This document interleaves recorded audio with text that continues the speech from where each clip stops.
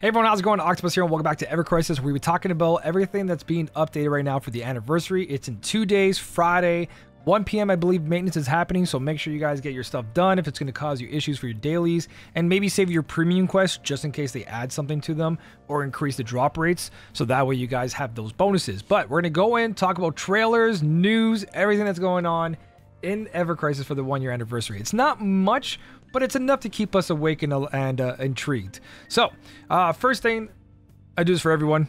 Don't forget to free draw. There's free stuff going on right now. Free draw every day before the reset. Make it happen.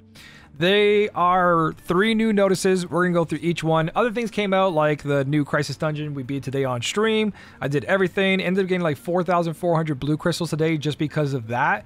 Plus uh, the story quest of Zack I didn't do yet. So that got me back up to 42,000. Very happy about that. So Notice number one, the Cetra story, Birth of the Destroyer. This is going to be happening on September 6th, 7 p.m. Uh, 7 p.m. PDT. I think that's my time. 10 o'clock is my time. Uh, you got these two exchange items for Bahamut. That's going to be the boss. He looks so freaking good. I'm going to show you a video. But you get the two items. You get exchange shop. There's a free weapon. Just like Final Fantasy 9 right now, you're doing the exact same thing over and over for this specific fight. This is uh, the Alba Horn and Alba's Claws, and the weapon for Zack is called the Alba Blade. Alba just seems like a weird word, but yeah, there's that.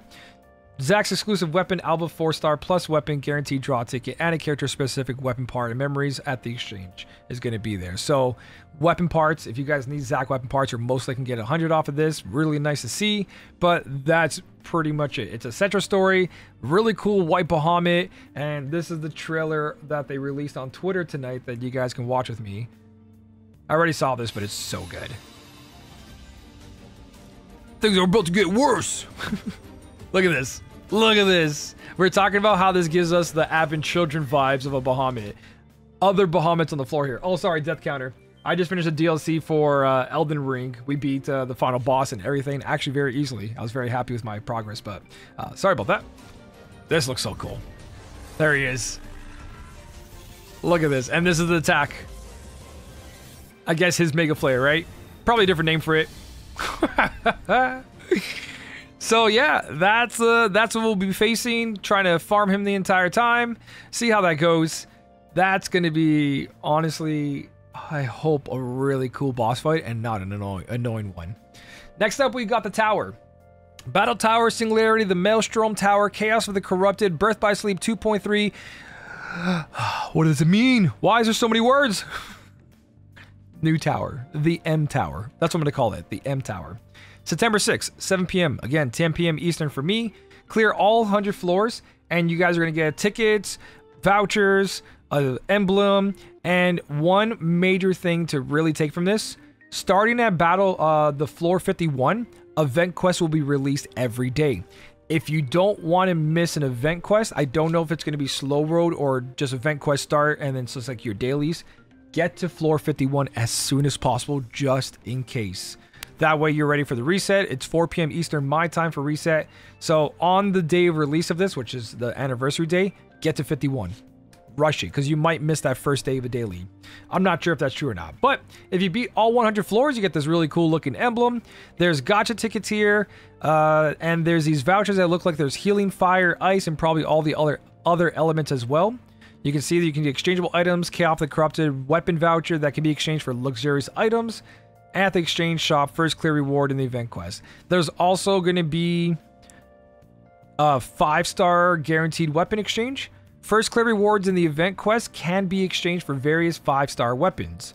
And they show it here. So if you get this healing voucher, you get to pick a healing weapon. If you get this fire voucher, you get to pick a fire weapon. So that's going to be really awesome, picking weapons that we don't own or we're OB6ing or OB10ing soon, this allows us to get those OB10s and OB6s very quickly.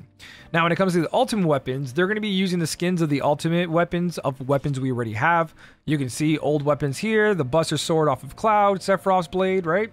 Uh, Glenn's weapon. So you're going to be exchanging medals and uh, again, first clear rewards, ultimate weapons at the exchange. It's all going to be straightforward. As long as you're clearing the quest, you're going to get items to exchange for these weapons once they're released. And if they make us like choose which one, I'll go over which weapon's the best one to go for. Ultimately, when it comes down to this, go for the character that you play. Not for the one that people say it's meta, because then you're forced to build a new character, pull for them, OB6 their weapons, get their costumes. If you already have a character fully built and this benefits them, then go for the character that you're using. So this is uh, going to be the new ultimate weapons. It doesn't look like they're going to be using new skins. Maybe in the future there's going to be a new version where it's only this ultimate weapon has this look and no other weapon looks like it. But for now, it looks like they're reskinning it with the life stream uh, poisonous stuff going on. One, two, three, four, five, six star ultimate weapon. Yep. Uh, there's a limited number ultimate medals that can be obtained. So that's what I'm saying. If you have to pick and choose, we'll go through that. And they cannot be exchanged for ultimate weapons that are obtained in the draws. So you can't just go, oh, there's a new draw. Let me save these and use it. No, it's only for those specific exchange ones. Actually, another important thing to point out here is that it does say ultimate medals can also be obtained in other events. So not only this event, other events will be releasing them. Um, when it comes to these vouchers over here for the weapons, I might make a whole new video on what is the best healing, fire, ice, but same rule with everything else. Go for the characters you're using. If you do use any character you're not using and you want to use them, you're just missing things, it's a good way to start off. But it's always better to max out characters that you already own and get through there, make those R abilities and the back weapons better, right? Like if you needed more fire weapons so your fire character did more and you were missing it, go for that. Complete sets. Or you can make a brand new character. It doesn't matter. It's up to you. I'm looking forward to this. I will be releasing an entire video on the battle floor to 51. That way we can get our dailies activated and ready to go.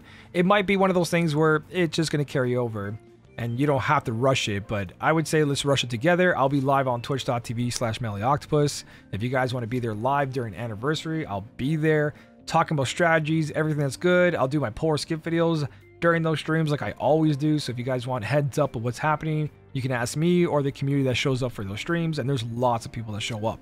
So all of that is happening. First year anniversary is around the corner. I'm really hoping that they're taking feedback and they're going to start adding more things besides these exchange shops because this does look like the things we're currently doing right now. Final Fantasy 9, uh, Final Fantasy 9 events almost over. Don't forget to finish that off. A lot of gil and grindstones to be collected there.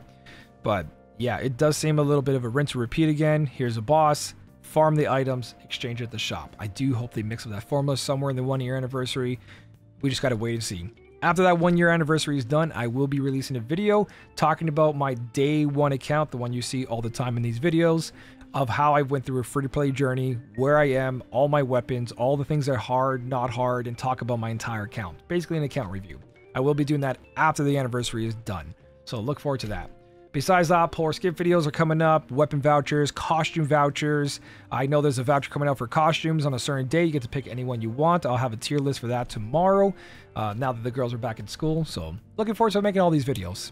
Besides all that, let me know what you're excited for in the comment section. I'm really, really intrigued to see what you guys care about the most and what kind of weapons and kind of armor you guys are also choosing. Are you working on a new character or are you working on an old character? Besides that, thank you so much for watching. Keep on smiling, and I'll smell you later.